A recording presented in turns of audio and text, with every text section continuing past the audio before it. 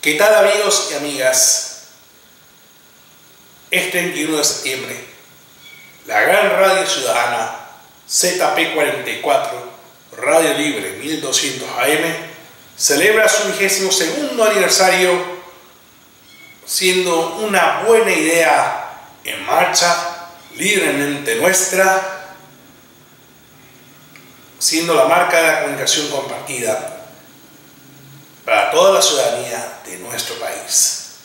Le deseamos el mejor de los éxitos desde Noticias Viuda 1 y su director, quien le está hablando, don David Alejandro Masvidal. Felicidades, que Dios les bendiga y les acompañe siempre.